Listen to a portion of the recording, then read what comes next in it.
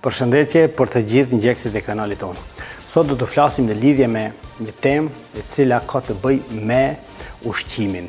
A duhet të ushtrojmë me barkun plot?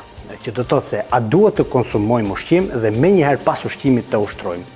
Edhe ky është një mendim shumë i gabuar nga shumë njerëz, ku shumica praktikojnë se masi të konsumojmë ushqim, ne duhet të tretim ushqimin menjëherë. Pavarësisht llojit të ushqimit. Minimumi i cili duhet të merret ushqimi para ushtrimeve është 2 deri më 3 orë.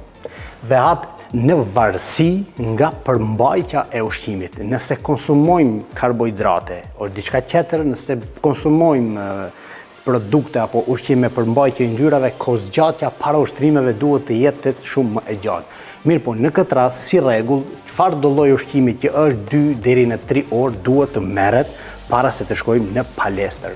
Çka nënkupton?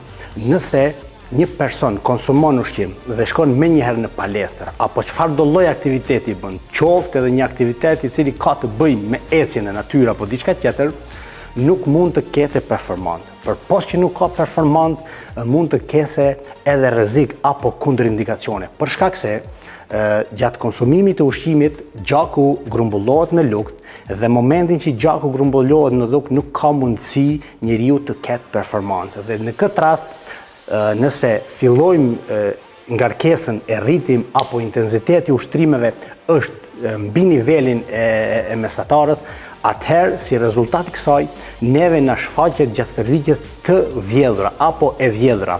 Përpos të vjellurës kemi edhe dridhje duarsh dhe marrje mendsh si rezultat i lukthit apo i barkut plot.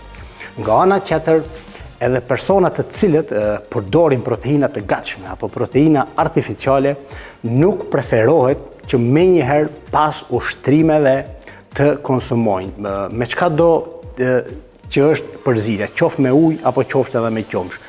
Për shkak se edhe proteini llogaritet si mjet ndihmës apo mjet ushqyes dhe nuk preferohet të pihet para ushtrimeve. Kurse pas ushtrimeve, Absolutisht është e drejtë dhe rregull mund të konsumohet për shembull puna e proteinit. Për këtë arsye po nuk rekomandohet, barku plot në asnjë formë, më mirë do të ishte sportisti i uritur të bëjë stërvitje sesa me barkun plot. Mos harroni, na bëni subscribe dhe shihemi në video tjera.